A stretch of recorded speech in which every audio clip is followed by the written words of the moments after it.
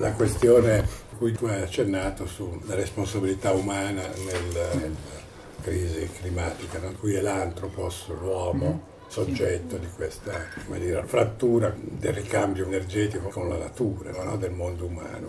Contestualmente, nel momento in cui dichiari che appunto ci sono disuguaglianze, soggetti che hanno un altissimo uh, livello di consumo e altri che invece ne, patiscono le conseguenze, ne sono tragicamente uh, vittime. Ma poi il problema non è l'uomo uh, nella sua genericità, ma probabilmente è un meccanismo che genera disuguaglianze, quello che noi definiamo il capitalismo. Mm, ci ritrovi totalmente. Infatti già da diversi anni si parla di antropocene, cioè siamo nell'era geologica dell'uomo e anche se hanno tentato a livello internazionale proprio di codificarlo e poi qualche mese fa questa codifica è stata un po' bocciata. Da una parte abbiamo la CO2, il cambiamento climatico, oppure abbiamo le esplosioni nucleari, abbiamo i rifiuti eh, che sono legati proprio con le pietre, quindi siamo riusciti a, noi come genere umano a modificare proprio a lasciare. esattamente proprio a livello di strato geologico. In realtà lascia fuori delle responsabilità. Ci sono delle responsabilità che sono diverse. E quindi il sistema attuale in cui noi viviamo è il capitalismo e quindi l'era geologica dovrebbe essere il capitalocene. La responsabilità è sistemica del sistema economico, globale, culturale, sociale in cui noi viviamo oggi crea le disuguaglianze, il modello economico, lo sfruttamento della natura e così via. Però in questo senso mi verrebbe anche da chiederti se sei d'accordo con una parziale, forse non so se riformulazione o chiarificazione, parlando di capitalismo, ovvero di modo di produzione e quindi di, di dinamiche di classe, l'idea che la questione ecologica e le questioni ecologiche collegate, oltre che essere questioni genericamente sociali, che è vero come ambito, però sono anche questioni di classe, quindi è una questione legata letteralmente al discorso di classe, che con classe non si intende per forza la classe come era nell'Ottocento ovviamente, ma si intende la questione della produzione e del lavoro. Sì. Io penso che le classi sociali esistano ancora e siano determinate da relazioni al mondo del lavoro. Eh, rispetto ovviamente all'Ottocento è un qualcosa di molto più complesso, parliamo del precariato ad esempio, parliamo delle dinamiche a livello planetario, di sfruttamento, neocolonialismo anche, quindi diciamo che il capitalismo è una forma economica molto efficace che è riuscita a reinventarsi nel corso degli anni, a allargarsi su scala planetaria e a sostenersi. Il problema è che ci sono dei limiti ovviamente a livello planetario, cioè la, la, natura, le risorse e lo spazio abitabile arriva fino a un certo punto. La classe e le relazioni di classe esistono e vanno in una qualche maniera cambiate, però rispetto a una certa visione marxista penso che bisogna essere un pochino più, più fini nella nostra analisi e il concetto di dominazione ci aiuta. all'interno di questa grande categoria di, di concetto di dominazione rientra anche le relazioni di classe, mm-hmm. ma rientrano anche le relazioni ad esempio tossiche all'interno di una coppia, forme di patriarcato, mm. forme anche di dominazione di, di tipo politico. E quindi secondo me parlare di dominazione è un qualcosa di più fine per analizzare la crisi attuale e andare anche a vedere eh, cosa va cambiato secondo me non tutto può essere visto come uno scontro tra classi. Quando intendo leggerlo come questione di classe non voglio dire negare l'elemento della dominazione o dell'oppressione, che possa essere nel campo del genere, nel campo dell'ecologia, eccetera, ma evitare che questa cosa non venga ricollegata alla dimensione materiale. Leggere anche gran parte del disastro ecologico non soltanto come un'idea di dominazione dell'uomo sulla natura, quanto come l'effetto concreto di una gran quantità, eh, e qua sì, sicuramente la finezza anche mh, mm, interpretativa è fondamentale, una gran quantità di processi, sottoprocessi, eccetera, eccetera, legati a dinamiche materiali, non solo di dominio astratto. Di potere. Sì, potere come un'istanza a sé, come un'istanza geistlich, scusami, spirituale in questo senso. Sono d'accordo, però la metto sul tavolo, ecco, nell'ottica di costruire culture di resistenza. Quanto può essere utile parlare di dinamiche di classe? E non ha una risposta. Eh? Ha senso parlare alla popolazione attuale 2024 di lotta di classe o di relazioni tra classi? O forse dobbiamo, forse neanche il termine dominazione o potere è il termine corretto, però il mio stimolo è che termini dobbiamo utilizzare quando noi andiamo a parlare con, con il nostro vicino di, di casa, eh, quando vogliamo in una qualche maniera cambiare il mondo. Cioè la comunità non è un qualcosa di astratto, è che e chi abita attorno e che linguaggio vogliamo utilizzare. La domanda è, ha senso utilizzare questi termini? Rimangono sempre ovviamente come forma di analisi, ma quando noi vogliamo poi costruire qualcosa, andiamo a utilizzare questi termini o qualcos'altro? E, e, questa è una domanda ovviamente aperta. Secondo te da cosa può derivare una difficoltà nel, nella comunicabilità del, di, un, di, un, problema come quello del, del, cambiamento climatico? Io penso che sia un problema di, di traduzione, di utilizzo di termini che possano in qualche maniera dialogare con della popolazione che abita nel 2024 in quel determinato spazio, quindi in relazione allo spazio e al tempo, che cambia.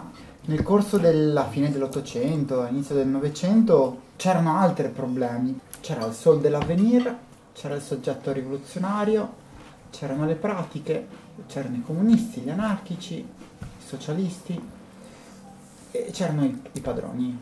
C'era forse più semplice, ma la lotta era enorme, titanica, è andata male, abbiamo perso, però c'erano delle pratiche e c'era un'utopia. E quindi c'erano milioni di persone che ci credevano e c'era appunto un linguaggio comune che non è semplicemente la comunicazione ma proprio anche c'era uno, un orizzonte utopico comune. Questo soprattutto col crollo del muro di Berlino che meno male è crollato e così via però contemporaneamente la sinistra intesa in senso molto ampio vogliamo chiamarla in un'altra maniera quelli che vogliono cambiare il mondo quelli che stanno in basso a sinistra, come dicono i zapatisti, non siamo riusciti a articolare un nuovo orizzonte utopico. Quello per me è creare delle culture di resistenza, cioè dire vogliamo arrivare lì, critichiamo la società attuale, abbiamo degli strumenti per arrivare, abbiamo dei valori, una certa etica per arrivarci.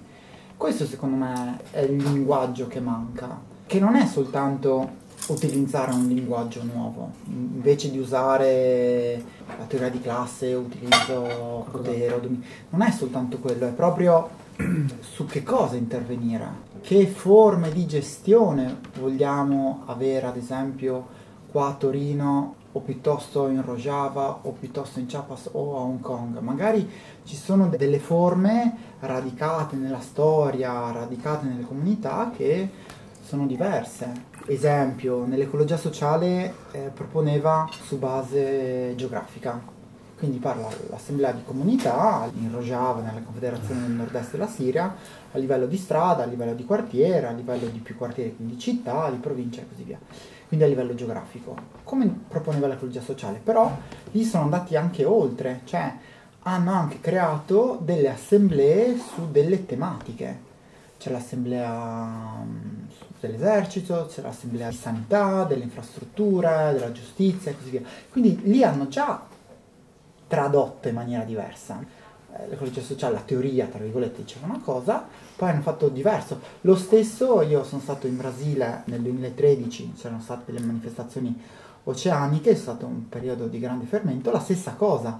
Eh, il movimento ha cercato di decentralizzarsi in maniera geografica contemporaneamente creando anche delle commissioni di lavoro su determinate tematiche. E lì è per me un esempio puntuale di come una teoria viene modificata da pratiche contestuali di quel determinato spazio. Tu dici che concetto di oppressione delle varie modalità sì. relazionali in cui l'oppressione si manifesta è più ampio ed è più efficace Secondo me sì. dal punto di vista della comunicazione di una nostra condizione, nel nostro stare al, al mondo, insomma. Secondo me sì. Io sono anche uomo e bianco. E lì c'è una, ci sono altre dinamiche che quando parlo di dinamiche di classe vengono perse.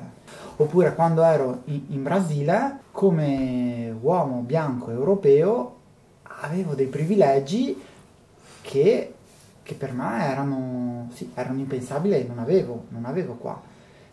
Cosa con cui dovevo in una qualche maniera fare i conti per poi cercare anche di costruirli e, e vedere che le relazioni che avevo con le persone in Brasile erano comunque mediate da questa dal mio essere semplicemente bianco europeo che forse la sì, quando si parla di classe a me si perde ecco un po'.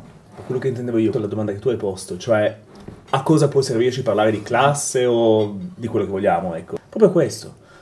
Io mi viene a pensare, cioè che tutte queste forme di, espress- di oppressione non sono per nulla false, nessuno sta dicendo che non esistono, anzi, l'idea è vedere come però queste forme di oppressione, queste forme di dominio non nascano in astratto, ma nascano nella storia e in una storia che è espressione di rapporti di forza materiale. A cosa può servire parlare in questi termini oggi? Ma magari non è particolarmente attraente, quindi possono anche cambiare se vogliamo. Però uno dei vantaggi che può offrire questa prospettiva è proprio quella non di negare le identità o le comunità che non sono solo comunità geografiche, perché io posso essere un membro della comunità LGBT, mm-hmm. di comunità virtuali, di comunità morali in altro senso. Quindi non negarle, ma riportare, riportare, cioè proprio ricollegare, ritrovare la radice delle oppressioni, delle questioni sociali, culturali, eccetera, nel piano materiale di esistenza, ovvero nelle, nella produzione e riproduzione delle condizioni di vita. E vedere come anche queste forme, le mh, identità culturali, identità etniche, per non dire razziali, pensando magari un po' più in inglese, non come suona così male in italiano, di genere, eccetera, vederle storicamente come si sono prodotte e come si producono e si riproducono e come hanno, non, non sto negando che abbiano un loro impatto, una loro efficacia, eh, sicuramente, però a partire dalle condizioni di esistenza materiali. Se ho capito bene quello che lui vuol dire, è che il concetto di oppressione precede anche l'attuale sistema sociale che cosa mantiene in vigore certe forme di oppressione e le funzionalizza alla riproduzione materiale del sistema, che poi vuol dire che non si può eh, uscire da questa specificità storica delle forme di oppressione che oggi sono mantenute in vigore del fatto che insomma eh, tu sei reso funzionale, questo è il concetto di classe, quello che sei funzionale alla produzione di profitto o, o non lo sei.